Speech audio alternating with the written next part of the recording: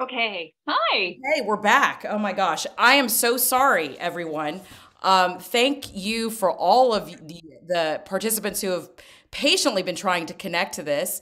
Um, I uh, do apologize. Um, I've really never um, kind of had that um, before, but um, everyone seems to be getting back on now. So that's um, something.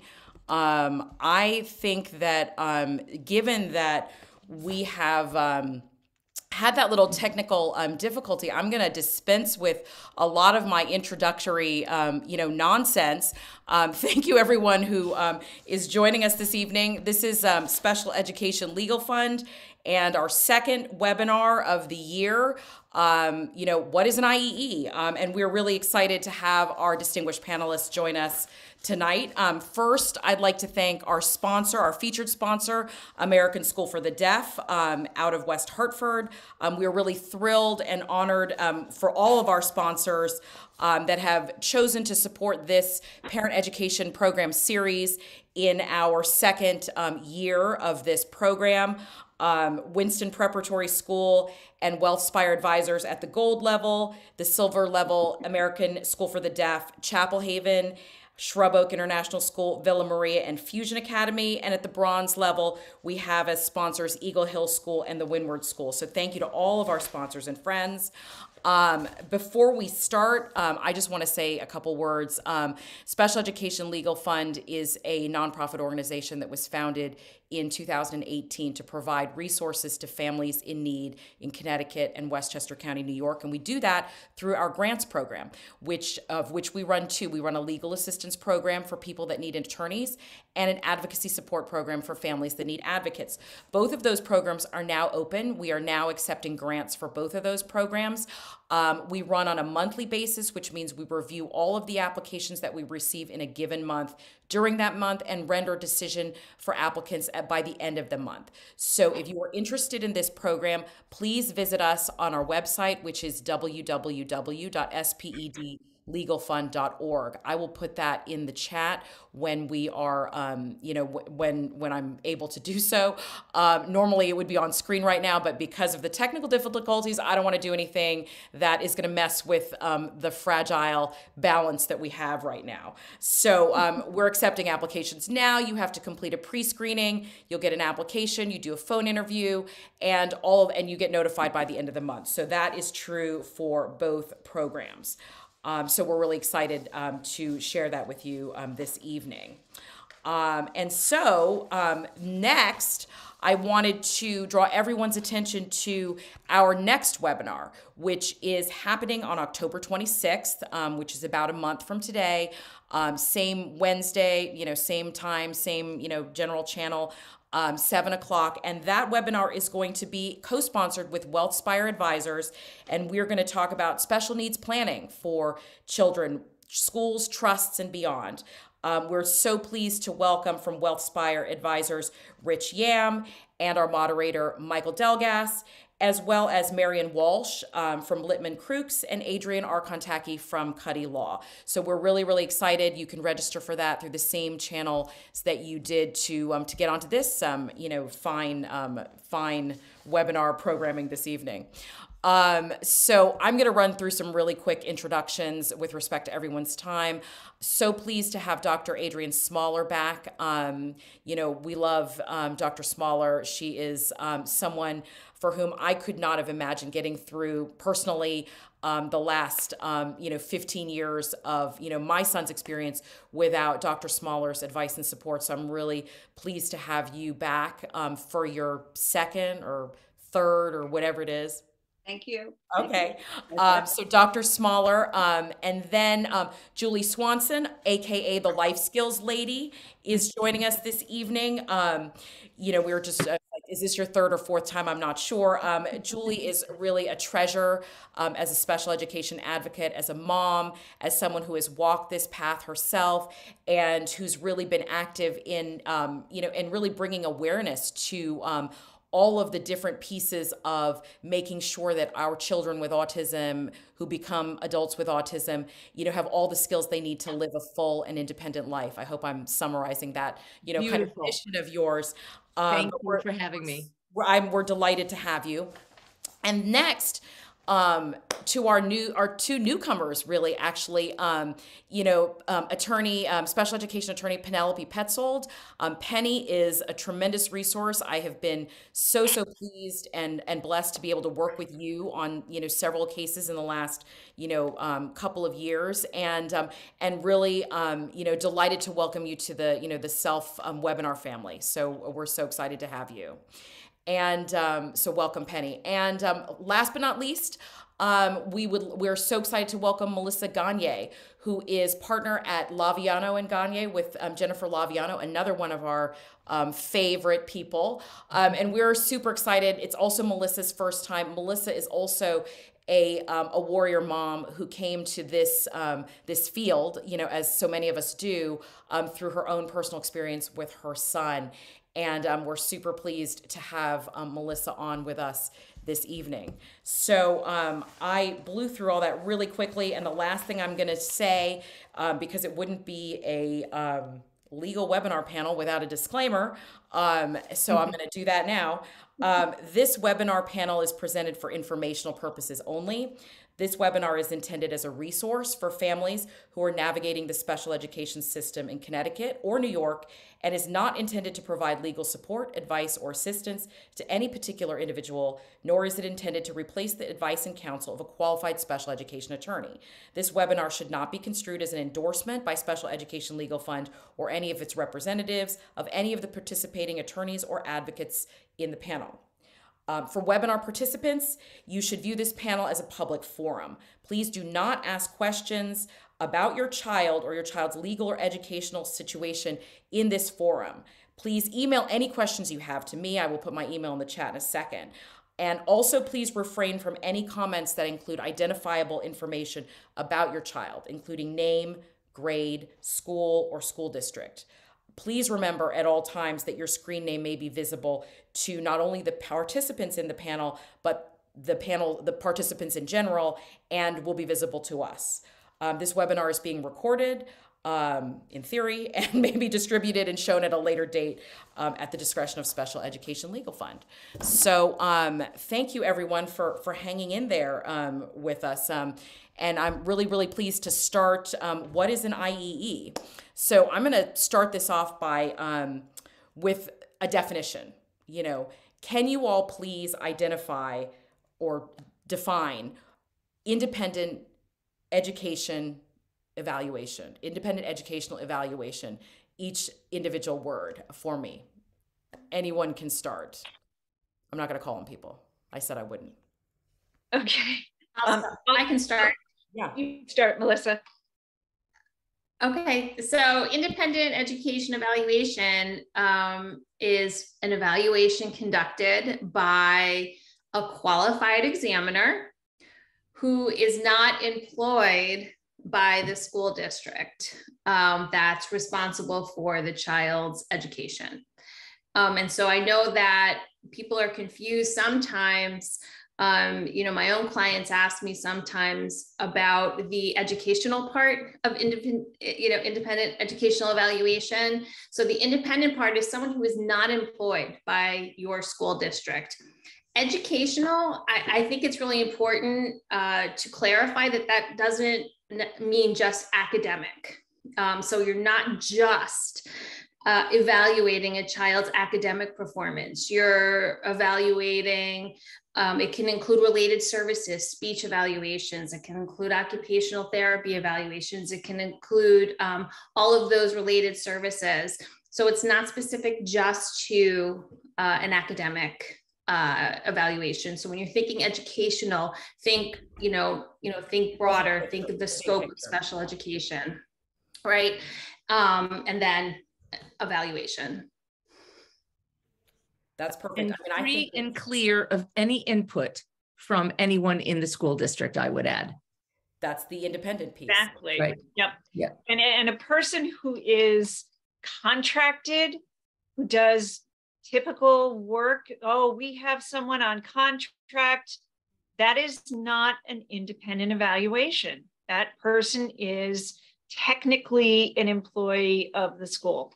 So that well, would not count. and to that point, you know, sometimes the school districts will hand you a list. Here are some people Yep. you could choose from, and you can kindly say, "Oh, I'll absolutely consider those, but I'd also like to consider some of my own folks." Mhm. You're not obligated to choose those people. Therefore, it wouldn't truly be independent if you were forced to just choose someone from a, you know, a- a finite list. That's absolutely correct. And that kind of follows on with the conversation that we were having before, you know, we started the webinar was this really like what, you know, truly constitutes independence, you know, in an evaluator. And what should you as a parent be looking for? Because I know, you know, I mean the IEE is is like the most important thing that parents have as a tool or one of the most important things. And you can't get anything without it. You know, it is you know this um, you know in your arsenal it is like a, a really really important tool and um, so but uh, you know our understanding of it you know can sometimes be um, you know not as you know not as good you know as we might want it to be. Who are these people? Who are the best people to to do the evaluation you know for my child? Who's the best person in any individual category? Um, how how do you um, as you know as advocates as you know attorneys you know as you know you know i mean this one isn't really for you dr smaller but you know how do you help families find the right person to do the particular evaluation that their child needs when you get to this point Well, I'll hop in here. Two comments I have, and one is, um, I always like to say to parents that an evaluation is worth a piece of paper if it's it's written on, if it doesn't have prescriptive recommendations. Mhm. And we as advocates and attorneys are are only as good as the advice and the recommendations that are embedded in that evaluation because we're not the people who can say your child needs X, Y, and Z. Certainly we can have an opinion, but nobody's obligated to listen to what we think. So people like Dr. Smaller, um, when they write their evaluation, we have to hang on to every single word she's saying and use what she's recommending to then request what the child needs. Um, but as far as um, answering the first part of your question, I'm sure the other panelists have an answer for this as well. Um, you know, when you've been doing this for a very long time, you sort of know all the players in the state. And it really just comes down to experience and knowing who's who and the reputations and and you know what kind of evaluations they they they are able to um, put forth. Would you all agree? Totally. And and I was I was thinking, you know, if I haven't heard of someone, I'll reach out to my colleagues and say, hey, have you guys ever heard of this person? Yeah. And sometimes I'll get, oh yeah, fabulous. mm-hmm. Especially if, you know, if it's someone new that that we've not heard of or it just comes up. Um, sometimes you'll hear, well, I had a meeting and it wasn't great. Um, but each evaluator is as different as each evaluation. So you you know, um, and it depends on on what the parent is comfortable with. I would say that um, going back to your question about evaluation, educational evaluations, that I would make it very clear that that we're not looking for the medical piece. Mm-hmm. And um, very often, if you're looking at an evaluation that will be covered by insurance, you're going to get more medical than academic um, pieces. And that's that's why because um, these let's let's educational evaluations. Okay, I want to wanna table the I want to table the medical evaluation for a minute, just because um, you know someone came into the chat and wanted to ask about what a qualified examiner is, which was a thread that we were on a minute, and maybe Dr. Smaller, you can you can address that question, and then we can kind of go into those those different pieces of like what particular evaluations are. Sorry, Penny. No, no, that's fine. I like this. Um, uh, uh, so, um, well, the, I- I look at, and, and when, when somebody calls me, uh, whether it's a school district or a parent requesting an IEE, I look at it as a second opinion, as a new set of eyes, um, looking at the child, assessing the family, as well as the child, as well as the educational program. Um, and in terms of uh, qualifications, Um, I have to say, each district is very, you know, the state has certain guidelines, and then each district has their own guidelines. So, um, in terms of being selected or asked to do an evaluation, sometimes I just get a quick email from a director and set, that says a parent has requested you to do this evaluation. Uh, what's your availability? Um, I I send a contract to them, they sign it, and then I never hear from them until the PPT. Um, so that's one way, and those are usually people that know me quite well. Um, and there are other districts that I get eight pages of what they consider uh, an evaluator's you know criteria and what I'm supposed to be meeting, and that could be anywhere from submitting my CV to my license to the face sheet of my malpractice insurance. And one district required fingerprints. So um, it's sort of a range, um, and um, and I said no to the fingerprints um, because I feel like if I'm licensed by the state of Connecticut and I have malpractice insurance and that has to be right. renewed every year, then maybe I, I don't need. To have I shouldn't have to be well. You know, that brings up a really good point, Dr. Smaller. And so the state has criteria, and often when you say districts have their own criteria, you have to know that some of that criteria may not be in keeping with what the state says it has to be. So you have to be very careful. And so when it asks for fingerprints, but they don't ask that of their own evaluators who are in their district. That goes above and beyond what they should be asking you to do. So you have to be really savvy about looking at what the criteria is to make sure that it's not overly burdensome and uneven with what they should be asking of you. Absolutely. One district asked for everyone in my practice to submit um, their uh, malpractice and so forth. And, and that's my husband and my office manager. And it's like, yeah, no, I'm not doing that. You'll have to get somebody else. So, um, so I feel like that is burdensome. Um, and, um, deliberately and so, who knows? Kind of, you know. Yeah yeah. kind of insulting. So, um, so again, there's a range, and again, I think that a lot of it is to, you know, sort of there aren't a lot of districts that would want me as an IEE uh, evaluator, um, and um, and it's a way of sort of um, you know exerting some control as well.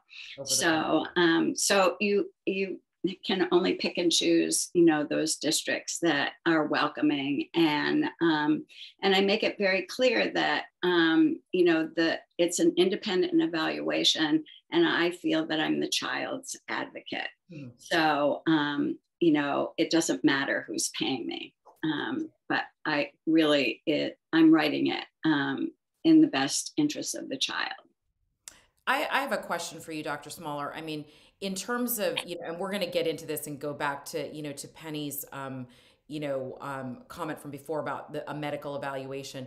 Um, you know but when you're thinking about you know who's paying for the evaluation so there's different types of evaluations obviously. Um, there are you know there's this independent education evaluation that is paid for by the district. Um, in theory independent. There is a private um, evaluation, um, you know, which in Connecticut, I guess is called a PIPE or used to be called a parent initiated private evaluation paid for by the parent. Um, there's a medical evaluation, which, you know, Penny has, uh, started to talk about before, before I so rudely interjected. Um, can, can we talk about the differences between those evaluations and you know um, not just like you know who's paying for them but you know is there is there a difference in the report that comes out at the end of the day between there, the three of those well there's definitely a, a, difference in the report that you're going to get ver- in a medical versus an educational evaluation mm-hmm. um, and and i mean i just got a couple and it was all the recommendations were for what the parents should do, first of all. There were no recommendations for the school. Mm-hmm. Um, it started out by saying um, that they were looking more at what um, what the the medical impact was, and that didn't help us at all because that the school district would turn around and say, "Well, it, it's he's clearly not an educational impact." Mm-hmm. Um, So um, I know that those are very different. Um, I think the the difference between an IEE and a pipe, there shouldn't be theoretically there shouldn't be any difference because either way the district has to consider them. They have to treat them as if they are outside evaluations that they just need to consider, which truly means they just need to ask some questions about it and talk about it at a PPT. They can hold it like a diseased piece of paper, but it, they have considered it. Mm-hmm. Um, they don't have to take all the recommendations. Um, and um, I mean, Melissa, Julie, where what what else? What uh, uh, we were asking the difference between a medical and an educational. Well, no, first of all, a pipe and a, and a pipe and an IEE also, you know. Yeah, I, what do you well, think is the big difference between an IEE and a and a and a parent initiated um, evaluation? Is there do you well, see I agree with you. There should be no there should be no difference. Yeah. Right in yeah. fact if a parent initiates it and pays for it and then they request yeah. um, that they're reimbursed for it that's considered you know that they're asking for an iee right Good the, point. the one do thing about that weight to, so, the, to the iee versus the pipe or do they look at them both equally they're supposed to look at them equally. That the the one thing about a pipe is if it doesn't come out great, if you're not happy with it, you don't have to share it with the district. Well, that's true. Absolutely. Yeah. I mean, absolutely. yes, you've lost that money, but you know, you it's sometimes better to yeah. have have that uh of not have the bad evaluation in your child's file. Right. That's which, true. Can I just tell you, in all the years I've been advocating, I've never heard of PIPE. So I'm sorry. I've never heard of it either. It's not a legal acronym. So just to, it's just, just to clarify, it's like, not, Sorry, yeah, it's not a legal no. acronym like IEE is. Yeah, no, I, I kind of figured that. I just, it's throwing me. I just made it up. I just made okay. it up on the fly. okay. Um, my but attorney. It works. It's that. great. Yeah, no, my attorney used to use that, um, you know, back okay. in the day um, and um, you know, and as a way to distinguish between you know the the two yeah. you know the two sort of things. And um, and I was like, you know, it just like it kind of you know kind of works, but um, you know, but memorable. Just, we would just say it's a private evaluation. Private evaluation funded by the parents. Right. Do um, but I mean, I think it's important, you know, for for everyone to recognize that you know all of these things should be fungible. You know, no matter who pays for them. I mean, you know, the medical evaluation being a, a different thing.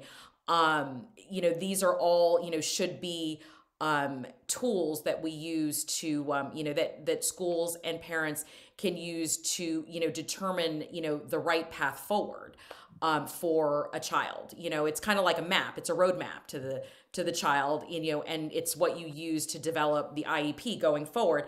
Um, well, you also, I mean, it, the the basis of it is to determine eligibility. And that's that's the whole point of the triennials and the and it should do we need to determine if the child is continues to be eligible for special education. Uh, but yeah, it, and for programming and planning. And obviously, yeah. yeah. Yep. I just didn't want people to think that's the only reason for the evaluation. Oh, thank you. Okay. Yep. No, it's absolutely important, and it's it, but it's one of those things, you know, that you know I have a lot of parents that come to you know to SELF, and they are you know they come to us and they say you know my child needs an outplacement. I my I, I'd, I'd like an outplacement for my child. And what sometimes it's hard to um you know to you know and that's obviously the topic of a whole other you know webinar but um what sometimes you know parents don't know is that the um you know the evaluation is like the critical, you know, linchpin in that process. You know, if one wishes to go down that road, you know, you one must have an expert opinion recommending the road that you want to take. And so it's really important to you know follow this procedure whether or not you know your evaluation is privately paid for or if you go through the IEE process after the school evaluation is done like all of these steps need to be followed in order to get you know to to reach your ultimate goal you know of outplacement so i think that that's um, an important thing to um, you know to to talk about. Um, so Christine, I just can I say something yeah, just absolutely. to that point as a mom um, you know my experience as a mom with my son he's now 26 but um, and he is you know profound you know profoundly autistic. Um, but when he back when he was five and six and seven years old and he was in still in the public schools and had two one-to-one paraprofessionals just for him and i got called every day to pick him up you know the school recommended the district recommended a, a neuropsych. And again this is something that we spoke of before. And the the the provider who who conducted the neuropsych did not observe him uh, in the school setting, only observed him in his office setting. And the report read like a, a child I didn't recognize. Mm-hmm. And I didn't have counsel at the time, I didn't have an attorney. And I disagreed with the evaluation. And, you know, at the time I was I was understanding that he was going to need something different um, than the other than the public school setting.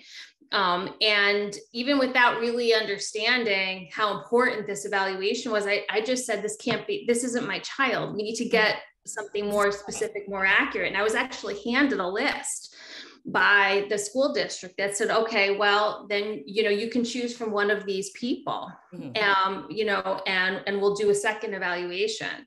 Mm-hmm. And I thought, and this is again, before I knew, yeah. you know, really what the law was, I thought that just can't be right. And this doesn't that, seem right. Yeah. It isn't right. And that is actually what led me to call an attorney for the first time, a special education attorney for the first time, because it just didn't feel right and and so i just offer that anecdote because i think a lot of times you know parents have such strong instincts. Their instincts are just you know they're they know their you know your child better than anybody That's a great point. And you know and, when something's wrong.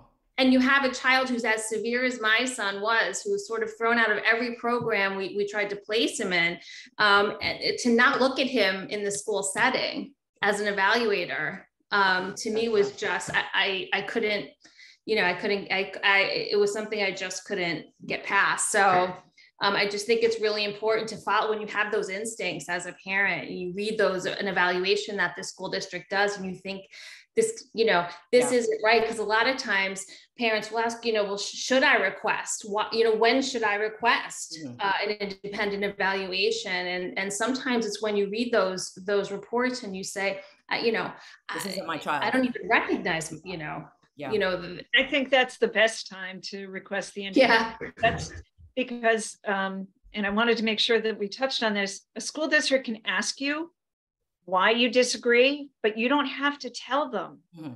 and it, it's not you you're a parent you don't have to know why you disagree. You're not an educational expert. Right. Um you know you just this just doesn't sound like my child. Yeah. And that's what about if the district asks you what tests you want to have done. Mm. I find that's a like kind of a loaded, you know, question. Um, you know, like when you you send that email, right? You've worked on your email. You write, I would like to request, you know, uh, you know, a full neuropsych evaluation for my child. You know, blah blah blah blah, and then you get the email back that says, Oh, okay. What testing are you looking for exactly? Please list what testing. How are you as a parent supposed to know? Like, what's what's the appropriate response to that email? it, honestly and I, have had i've had to write these emails quite often or people ask it right in the meeting. I'll say well part of the reason we're asking for an independent educational evaluation is we need the expert to tell us what kind of assessments need to be done. Um, if i were a neuropsychologist i'd be able to answer that question. Right. if i knew the child i'd be able to answer that question you know to that intimately. Right. Um, it, it's kind of a trick question. It is totally a trick question. Can you say i want his right. behavior assessed. I want his emotional regulation assessed. Do I want his adaptive skills assessed? Sure. Right. But to know what specific all tests, are done is like there's no way, you know. Right. I, I have I have a book of over 300 testing different tests that can be implemented in special ed.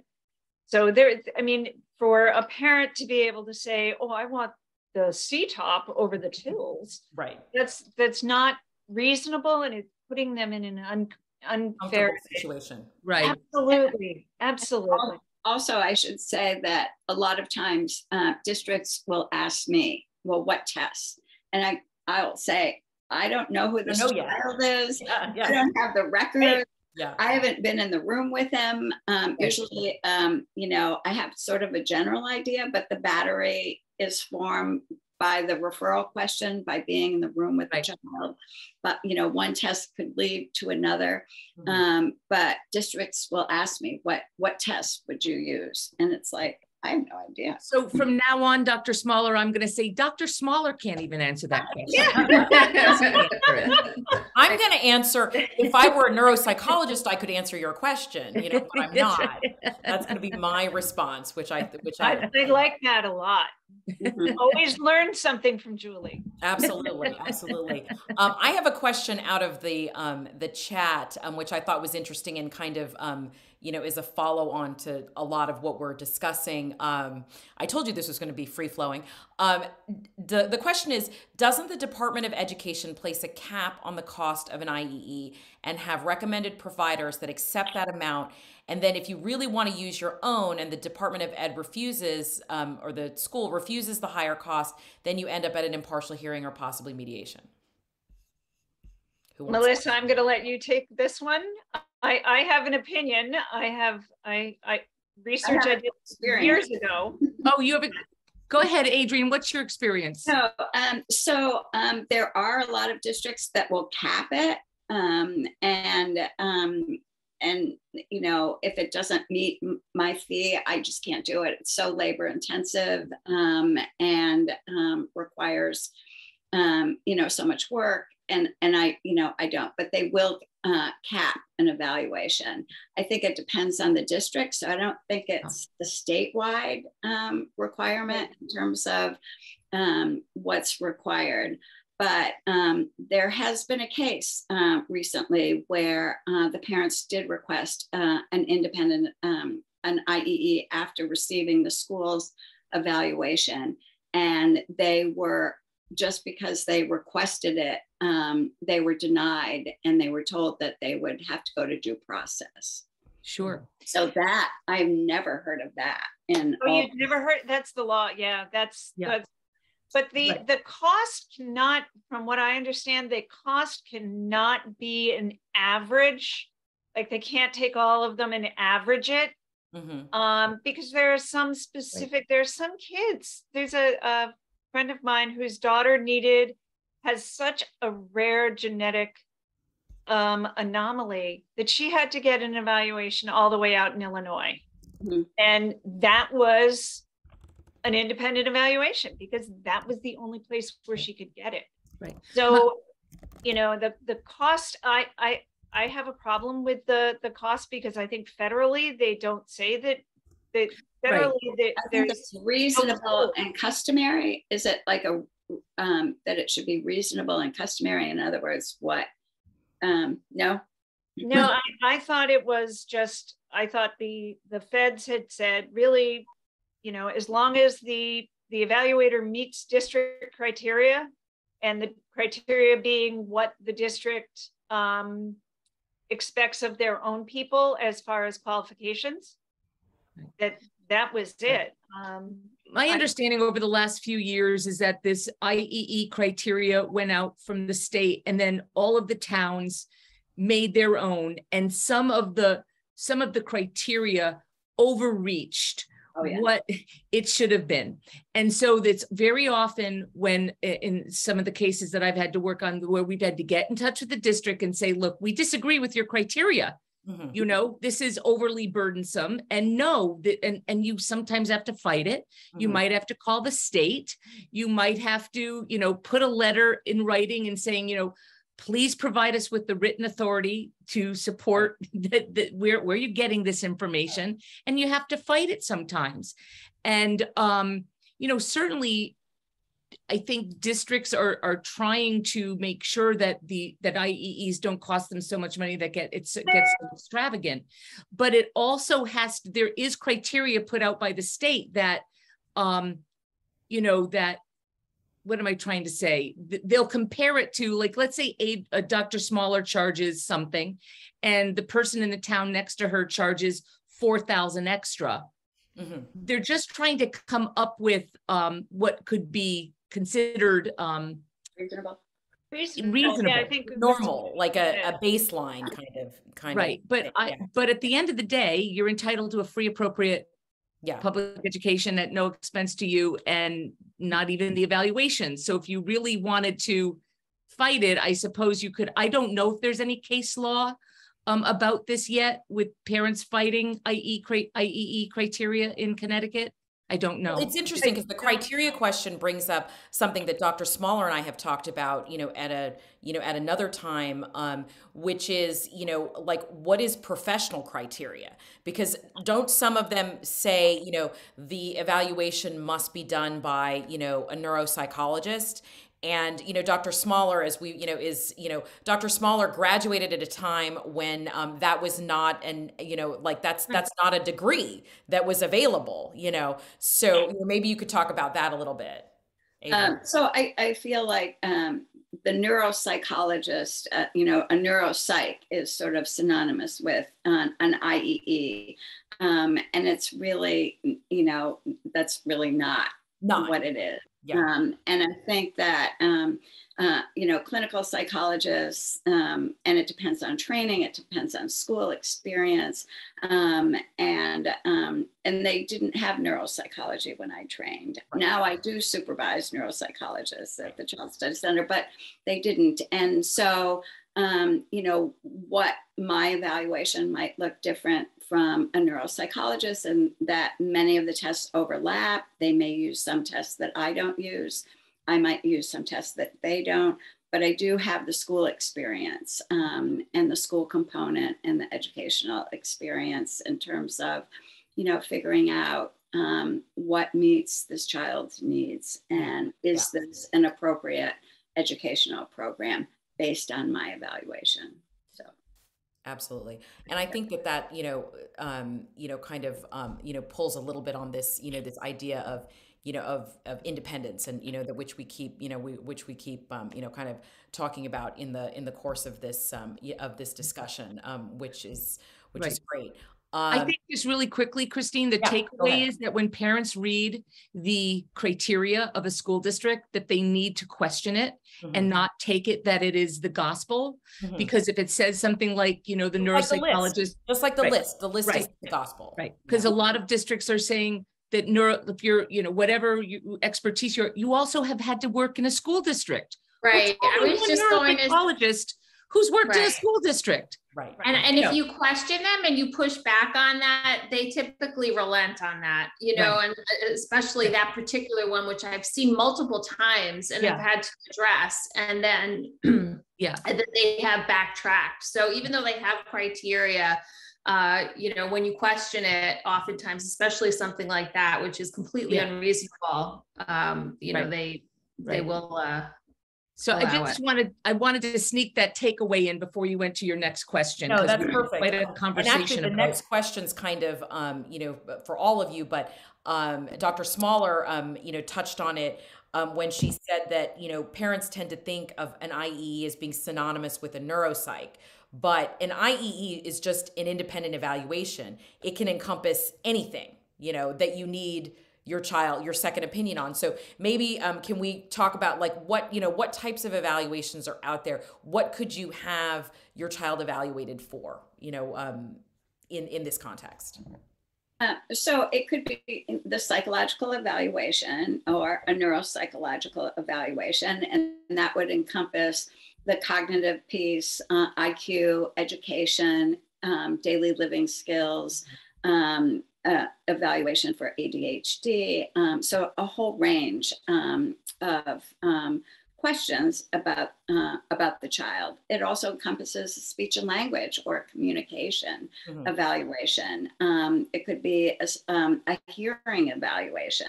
Mhm. It could be a visual um, evaluation, um, a feeding evaluation, uh, oral motor, um, um, any of those, uh, anything. PT. OT, right, occupational therapy, physical therapy, and assisted technology evaluation. So all of those are, um, and also um, the auditory processing evaluation. So all of those sort of are um, encompass what um, an you know an independent educational evaluation can look like. And technically, it could also be a medical evaluation if the medical situation is considered to have an educational impact. And sometimes districts can do their own medical evaluation with a very medically complex child, and you could ask for an independent. So, Right. um, Psychiatric evaluation. psychiatric, Psychiatric right? evaluation. Right. Um, dare we touch on the FBA that Oh. that is The not FBA, absolutely. The the functional FBA is not assessment. right, but it's not an evaluation. Mhm. So that's not that is unfortunately something that we're still fighting to try and get um, an IE for. Mhm.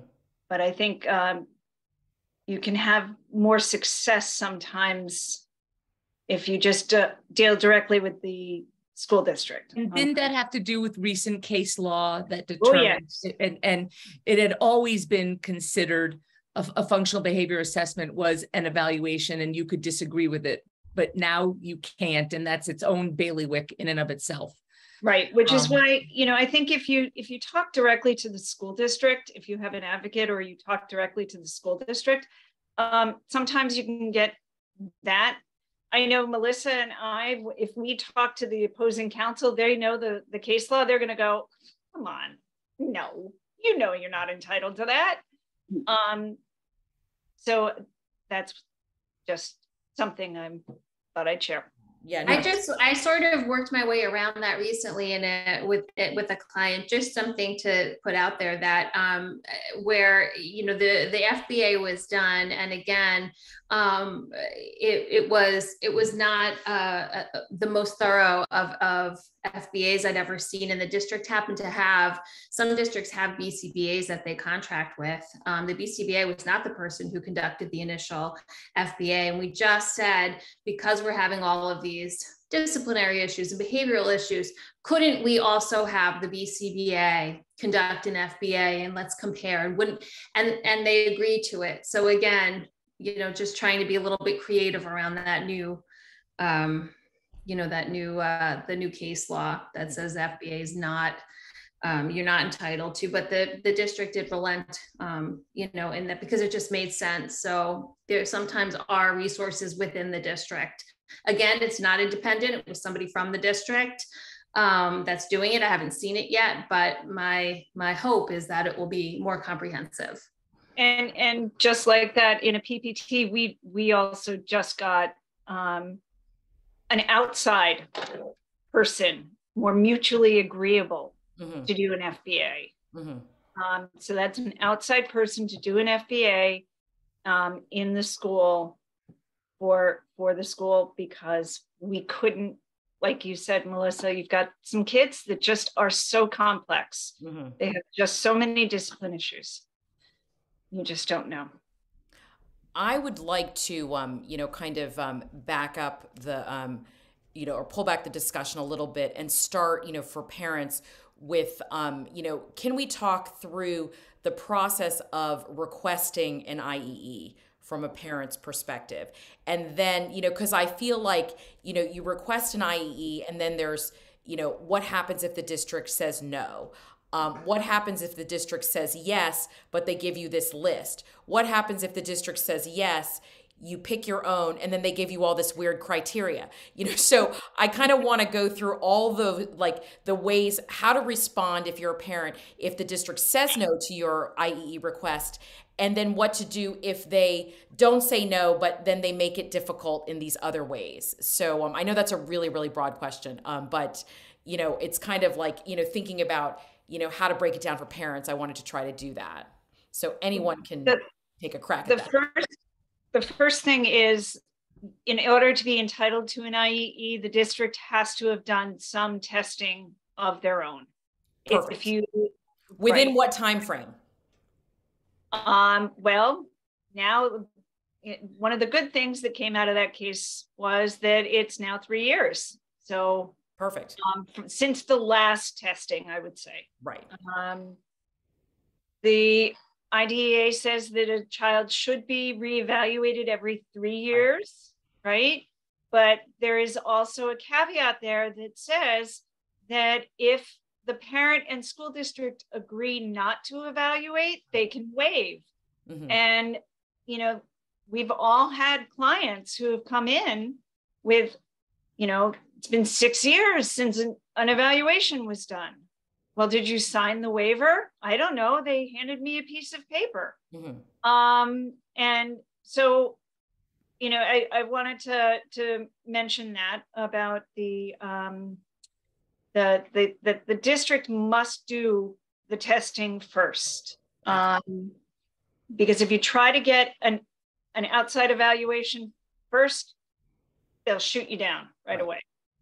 Um, so let's say, uh, Melissa, this is for you. You request the IEE and the district says no right off the bat. What do you do? So the district can't just say no and then close the book and that's the end of it. So if the district says no, then they have to file uh, a due process hearing request um, because and they have to do it without unreasonable delay. Uh, is the language, um, you know, of the law. So that means they can't wait six months to mm-hmm. file for a due process hearing requests. For the most part, um, you know, in my experience, you know, within a few weeks, districts will will file this due process hearing request, and they have to prove that their evaluation was sufficient. Mm-hmm. Um, so they can't just deny an IEE, and that's the end of it. So you know, they must file for that due process hearing request. Mm-hmm. Um, so th- there's sort of a, a request for an IEE triggers one of two things. The district either has to provide the IEE public expense, mm-hmm. or they have to file for a due process hearing to say that their uh, evaluation was sufficient. And I just want to all further clarify that you know the entitlement to the IEE, which is a procedural safeguard, you know, probably the most important one. It, parents are entitled to one per uh, for the evaluation. So, you know, there have been times, right, when somebody gets an IE, they don't agree with the IEE either. You right. can't then go back to the district and say, well, I didn't like the IE. I don't agree with this either. Mm. Um, the district is not obligated to provide then a third evaluation at public expense. So, just to clarify, you um, you as the parent are entitled to one IEE for every school evaluation that's done for each evaluation evaluation for okay. each evaluation so, right so so just to just to be clear you know you have your you know your triennial you don't agree with it you ask for the iee the district gives it to you have it everything's fine three more years pass you have another evaluation the other you know your next triennial you don't agree with that I just want to clarify when you say triennial, because triennial usually consists of multiple evaluations. Mm-hmm. And so if it, it's not the the triennial as a whole, it's mm-hmm. it's if I disagree with the speech evaluation that occurred as part of my child's triennial, perfect, yes, um, if that specific evaluation that I'm looking to have a, an IEE for that speech, which kind of goes to what we were saying before about how the IEE is not synonymous with either the neuropsych Right. as Dr. Smaller said, or as the triennial, which I was erroneously using it, you know, in in uh, you know um, interchangeably with. To, but that's an important point as well. To Melissa's point, when she said you're only entitled to one, that's also been misinterpreted. Where some school districts will say, "Well, you have to choose the one out of the three that have were done." Mm-hmm. no, no, no, no. Right, it's right, one it's a it's one-to-one correspondence right, right. you, you, get to disagree with the speech the ot the psycho ed so you know sometimes these things can get misinterpreted going down the pipeline mm-hmm. um so and anyway sorry melissa what and, and melissa would you clarify please i think this is really important that nobody wants to go to a hearing over an IEE. Like, no, no, let's not do it. And what burden would the parent have to hire their own attorney and all of that? So, can you say what practical advice you they should like maybe withdraw the request so that doesn't get triggered? Can you talk about that? Yeah, so uh, you know, again, it is, and parents can, you know, they can represent themselves at those hearings, at the due process hearings, if they choose to, um, or they can hire an attorney, and then that's an, you know, that is an additional expense. But um, sometimes what I'll try to do is, you know, we'll take a look, and and if you know, if there is a reasonable um, you know, again, as as if there's a reasonable disagreement, so I'm, I'm truly understanding why they're looking for, um, you know, some additional information from a from an independent person. I will say, well, why don't we take a look at the list? And you know why don't we try to is there some you know because again i know you get handed these lists and they're from the district so you know but a lot of times there's some very reasonable providers that are on that list. That's a great point that i was kind of trying to go to with the other you know angle of this question which is like you get the list you know, maybe you don't know anyone and maybe you're really set on this other person. Like, you know, is it like, you know, do you need to like ride or die on your person? Or, you know, should you, you know, maybe like, you know, bite the bullet and be like, okay, like I don't know any of these people, but you know, I've got a lot more stuff to fight about. You know, I want an outplacement. So maybe, it'd be okay if I went with one of these people? How would you kind of approach or them? even or, or, even to say to the district if you know um, you know I try to be collaborative with with my opposing counsel and say can we come up with a new person that we can mutually agree on? agree on? so yeah. maybe somebody if there's if, if maybe there's isn't somebody on the list that that we feel you know could we come up with somebody together mm-hmm. that could be agreeable to everyone there are ways to try to um, you know try to work this out because at the end of the day um, you know there are there are several really you know qualified you know people that can that can provide you know the the information that we're looking for. Mm-hmm. um, so i know it's critical and sometimes people do get very attached to a specific person. Yeah, yeah. Um, but i always encourage them to open up their you know it, you know ultimately they'll have to go to a due process hearing um, the district if the district feels strongly enough about their their evaluation they'll file and they'll fight it. Mm-hmm but that's a great point. It's sometimes it's you know sometimes the list is not bad even if the list might not be truly you know independent you know so but to all. that point that if you're going to if you're going to let them file and if i'm a parent i'm not personally going pro se. I, and i don't want to spend an uh, attorney's fees on on the district proving their evaluations were appropriate. I'd rather take that money and buy my own private evaluation exactly. to bring back to the table. Exactly. And then if they use any of that or embrace any of it, I still have a chance to say, I'd like you to to pay, to support this financially. I mean, that's just me. I don't know how you feel about it, Melissa, but I, I personally like having a parent go to uh, having no no no no parent should should want to go to due process it's it's a it's a painful expensive but i meant especially over an iee right right Right. There I mean, are, over over the district's evaluation, proving that it's appropriate. Right. there just, are some districts that, that are requiring parents to withdraw with prejudice. Oh yeah. They well, I don't I'm not going to take an IEE, so I won't take an IEE at all for this. Mm-hmm. Well, why don't you explain what why that don't you means? Explain that. Thank you for the for the yeah. audience. So when you ask for an IAE, and it's important that if the district says no, that it's put on prior written notice, which I'm assuming that um, Christine, you've had a, a, a, discussion about what that means. It's prior doesn't mean prior written notice doesn't mean that they're going to write you something prior to you asking. It's just just a technical term that means that they have to give you a written piece of paper saying we're denying your request. Mm-hmm. Um, and then you can sometimes you'll get into negotiations with the district. They'll send you an email and say, look, we really want to just talk about this. And that's when you have the opportunity to open up about it. Mm-hmm. I have seen threatening letters sent to parents who've said who where it's look, you asked for an IAE, we're standing behind our evaluation.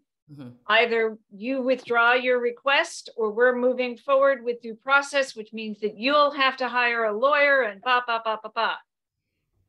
Then but, there are other districts that say they don't even send the threatening letter, they just file for due process. And then they tell the parent, well, we need to get this resolved. We need to have this so that you can't come back to us with your own evaluation and get reimbursed. So we're going to withdraw this with prejudice, which means that you don't get to have that IEE period. Hmm. You can't come back and ask for it again within the time period that you're entitled to. if you're Right. You forfeited it. right. You were That's what it. with prejudice means. So just to clarify Yeah. that specific term. It's just such a, it's not every district, but I have seen it up in, in my end of the state. And it's a very nasty bullying technique that I've seen some, some districts do. Melissa, what did you say it means? What, I, I missed what you said. No, I was just saying that, I was just clarifying that that's what the with prejudice, that's what you were defining what with prejudice. If you were to Okay. withdraw with prejudice, Oh, what that means. Right. Melissa, have you seen that? Have you run into that? That, No, I think to do, you know, and, and, and a couple of times I've done, you know, what Julie just recommended again, and just to reiterate, because it is, it, it can, it, it can sometimes avoid, um, you know, due process that way where a parent is actually able to go and get an independent evaluation on their own. That's not always the case. a parent can't always put that money up and, and That's make right. that happen. But, um, you know, if they're able to do that and then they bring that evaluation back to the table, and the, you know, and the district considers it and some of those recommendations are implemented. And then you can request, you know, reimbursement that this is an IEE, request reimbursement. You know, again, you have to know your district and you have to know, um, you know, but I think that's also a really, it can be a really effective strategy to, um, you know, to avoid a due process hearing. No, I think that's a great tip. And, you know, and it is collaborative, you know, which, you know, at the end of the day, you know, we're, you know, we're trying to, um, you know, be collaborative with the school-based team who, you know, is going to be part of our child's journey for, you know, many years. Um, and that's, you know, kind of the end of the day is that, you know, you want to, you know, you want to be collaborative as much as possible um, when it's within, you know, your ability to, to do, kind of do so. Right. Christine, if I could just, uh, following up on something Melissa said, Yeah. that, so the, the one important thing is if you have the financial resources to get an, a, a pipe, an outside evaluation on your own, you don't have to go to the district and say, I disagree with your evaluation. I want an IEE and go through this whole thing. You can just go and get your outside evaluation. Hmm And then when you bring it in, they have to consider it the same way they would an IEE. Mhm. And then you can submit that for reimbursement. You don't have to tell them that you are going for an IEE. Mhm. You can go and get the evaluation on your own if you can afford it and and do it that way. It's just really hard for most parents to be able to afford that. I know when Are you you're able going Do through it, do that? Do they reimburse for, for, I- um, If mean- you didn't disagree with their evaluation, can you still ask for reimbursement? I don't, I'm not Yes. sure about, yeah, yeah. okay. right? I, Melissa, have you ever, you bring them an outside evaluation, you say, look, I disagreed with, I, I, I, I didn't agree with your evaluation. There, there, but I went out and I got this. And now I want you to consider it. Oh, I, I didn't, I think there has to be the dis, the, my understanding would be that there, you, you, you know, in order to get the, re- any sort of reimbursement, you know, and under an IEE, there would have to be a disagreement with the, with the district evaluation. Yeah, I, I didn't know, Penny, if you said that you, I thought you said you didn't have to tell them you disagreed or anything, just go out and get it. I'm That sorry. is the, that is the, the, um, the, the laws that I've read. That's the case law. That's, those are the things that I've read. Um, I haven't had the nerve to put it into practice yet, but, um, I have had parents who have gone out and gotten an evaluation after the district did theirs. And then the district considered those and used that evaluation to program mhm, and so the parent asked for reimbursement and they got it. mhm. Yes. Um, you know, I, the, I, I'll look it up and we'll. Oh, I I'll think there's a difference between, Christine. I think there's a it's difference between, Thing, yeah, I'm sorry, Julie. no, I was gonna say, think the difference with, of what you just explained, I think, is that they used the evaluation and they agreed with it. Right. That's different from if you, you just said, you know, you brought it to them and they're like, sorry, you know, we but- disagree. Right. Okay, yep. They're probably not. Right. And again, I'm not trying to question you. I'm just, I No, just. no, no, sure I, I'm, I'm, giving folks Okay. the right information. No, totally. And and have, you know, I mean, I've had that personal it's where, you know, you went out and got a private evaluation, you know, before the school district was done doing their, you know, before you got into the calendar of them doing their their own school evaluation and then you're like, "Oh, look, here I did mine." You know, want to look at it and they're like, "Oh, yeah, maybe we'll use this instead of, you know, going through the process with ours." Um, and um, I wanted to ask um, kind of everyone a sort of a question um, do you feel like um, districts are fighting IEE requests more um, today relative to you know a couple years ago? Yes. Yes. Yes. Can you elaborate on that? I just violated my question. I was telling my my son who's going for college interviews. I'm like, don't ask yes or no questions. Ask questions that elicit a like a drawn out response. And I just completely violated my um you know my rule. But um, can you elaborate on that? I was I saw Penny nod and I I, I started nodding because yes, I I, Yeah. I I feel like it's almost a go-to. It's it's almost this sort of um, you know a request almost triggers um, uh, in, in in so many cases um, just triggers a, a, a denial um, and and I don't know why that is is excuse me i don't know why it's i'm seeing it so profoundly different um, than a few years ago but I mean, I will say, like in my own experience, you know, with the, with the with the grants program, that um, in you know four years ago when we started, um, we used to. I used to tell parents, like like parents would come in and say, like, I want an outplacement, you know, and I, I want my child to go to this school, and I would say, okay, that's great. You don't have an, you know, you don't have an evaluate. Go back to the district, request an IEE, then come back to me with your IEE recommending this, and then we'll give you the grant. We can, you know, move along, you know, and you know, and go through the whole thing. And now, and they would do that, and the districts at the time, you know, would by and large, a lot of them would just go ahead and do it. You know, and I think, um, and I have speculated, you know, Melissa, just kind of in answer to your, um, you know, question that you didn't ask, with uh, is that you know I think it's because more students are asking for outplacement, and the districts know that that is the the route that they have to go through, so they're just denying them as a matter of course even if that is isn't the ultimate game because they don't know what the ultimate end goal is so that's because the that's my- truth is an iee you know more often than not in my in, in my own practice is really because we want to make sure we're getting the right programming for the child you know Yeah. it's it's not a means to the an end roadmap. Yeah, it's the roadmap. It's know. the roadmap um and and you know i think if everyone you know everybody has more information. I loved what dr smaller said is like it's like a second opinion a new set of eyes Mhm. um, on the child. It's just beneficial for programming. So it, you know it's not this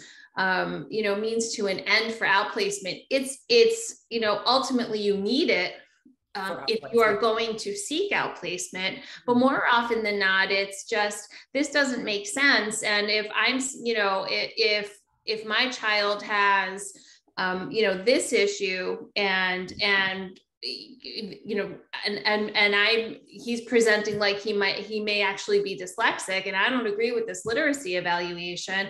I want an outside evaluation so we make sure he's getting the right help um in you know in the in the program that he's in. So it's Right. in many many cases is that you know everybody wants to have their child educated at a neighborhood school within the neighborhood and that is hundred percent. That is hundred percent correct. you know and so 100%. so it does come down to we need to tweak this program we need to add this we need to Right. have the program make a little more sense and and and in most of the districts um i don't i don't want to say most half of the districts will are willing to collaborate um, in order to um, you know make sure that the program makes sense for the child. So those are um, you know those are the good news scenarios. I have to say that as a result of the pandemic i've had more school referrals more independent educational evaluations um, in a long, you know, than I have in a long time. Mhm. Um, and so I would say that it's more 75% of schools paying for the evaluations at this It's point. probably because they're at a loss. They don't, they truly don't know what to do, right? So they're, they'll happily Right, take right. you as, yeah, I would And imagine. especially in this And area. it's also there's staffing issues and you know and everyone and there's pressure on that you know and so sometimes it's like if their staff is booked up you know sometimes that's a thing what percent of your practice um, dr Smaller if you don't mind my asking is um, you know is are these are iees just Um, so it's, um, I mean, it it's sort of split 50%. So 50% is, the, um, I see therapy cases, and then the other half is evaluations. Um, so, um, you know, it, it, it goes anywhere from four, three to four a month. mhm. Um, and it is a lot of work. a lot of traveling. and I think that you do more than most than a lot of um, you know professionals. I mean, there's a there's a group of you that you know are really um, dedicated to you know to doing this and you know to to really being um, you know the a- advocates for children. And I you know and I commend you and, and thank you for that. Um, it is really a, a tremendous thing that um, that you do. Um, I don't know what we're gonna do when you retire, but um, you know, I will cross that bridge when we get to it, I guess. Um, I um, had a question from the chat, which is um, Does a screening count as an evaluation? Melissa's saying no. No, a screening is not an evaluation. Um, a screening is typically done to determine whether an evaluation is needed. Necessary, yeah. So, like a reading, you know, screening, a literal, you know, right? That- That, that would be a, a screening, but not an evaluation. Right. And usually screening is, is more in the context of, you see that a lot with OT, um, you know, occupational therapy, physical therapy, maybe in the related services, um, or uh, assistive technology, Mhm. um, you know, sort of a screen to see whether a deeper uh, evaluation is, is necessary. That's super. Thank you. Um, I am, um, you know, since we started late, we're ending a little bit late, but um, I wanted to, you know, kind of um, ask the panel if um, you had any thoughts or advice for parents who are looking, who you know, are you know, are needed, or you know, or at this particular stage where they they think that they need a second opinion, they think that they need another set of eyes on their child um, you know how to how to how to proceed. What what advice would you give to to parents that are in this process?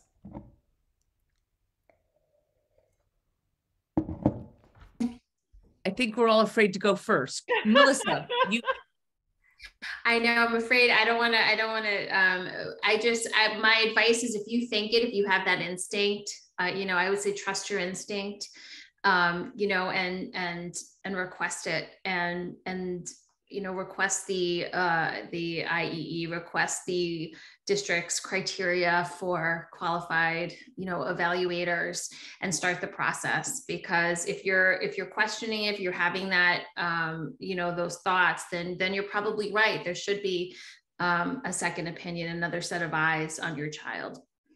That would be my advice. I agree. I mean, and and the parent is the expert on the child, um, and you know in your heart, in your gut, that something is not right, and that that you know schools are very a busy place under a tremendous amount of stress, but something tells you that they're not seeing what your child needs, and that you absolutely have to trust those feelings.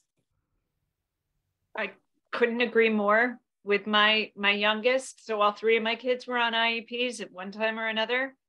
But with my youngest is when i asked for an iee and that was my first time. My voice shook. My heart was pounding. I was terrified. But i knew that what they were saying about my daughter wasn't right. right. Well, my, I guess my takeaway would be two things, um, you know, because sometimes it can be scary to ask for it, like you just said, Penny. And I always like to you know, you don't have to write, you don't have to ask at a PPT. You could write it separately in an email. And now prior written notice is even a separate part of many of the school districts are saying this is not a PPT issue. Let's do it separately.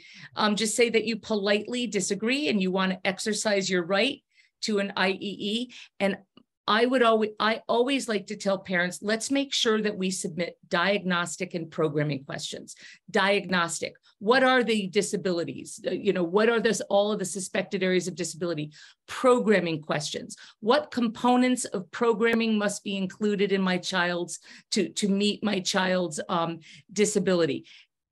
Ask very specific questions because and again, this is one of the reasons why I, yeah, how do you choose an evaluator?